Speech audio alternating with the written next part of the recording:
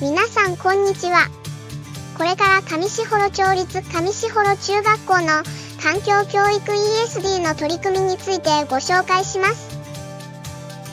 上士幌町がどんな場所か皆さん気になりますよね。上士幌町は十勝の北側大雪山国立公園の麓に位置する自然豊かな町です。人口よりも牛が多く酪農が盛んである一方で自動運転バスやバイオガスプラントなど SDGs についてもたくさん取り組んでいます。令和2年には第4回ジャパン SDGs アワード内閣官房長官賞を受賞しています。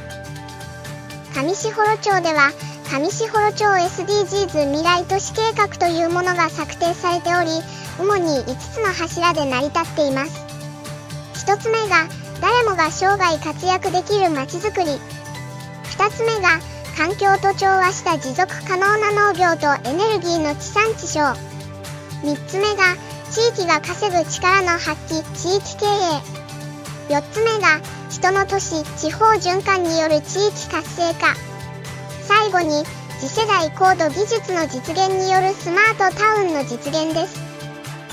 そんな町にあるのが私たちの通う上士幌中学校です。上士幌中学校でも令和5年度にはユネスコスクールに加盟し様々な取り組みを行っています。今回はその一部をご紹介いたします。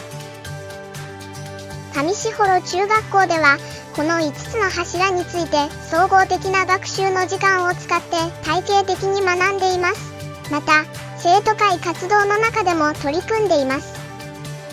まずは町の中にいるスペシャリストたちを外部講師としてお呼びして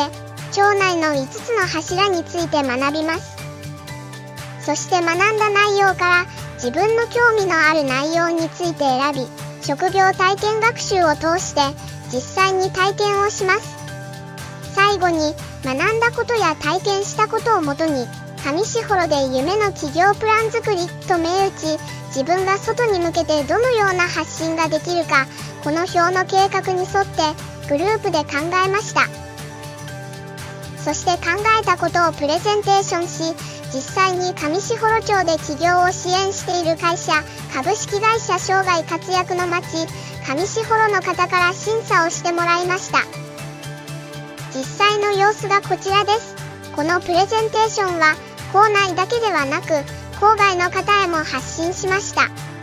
授業以外では生徒会活動の一環でユニクロが実施している届けよう服の力プロジェクトに参加しています。これはもう着なくなった子供服を集めて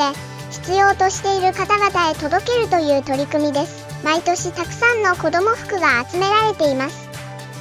その他にも生徒会では植樹活動も行っており持続可能なまちづくりへ少しでも貢献できるよう取り組んでいます。終わりになりますが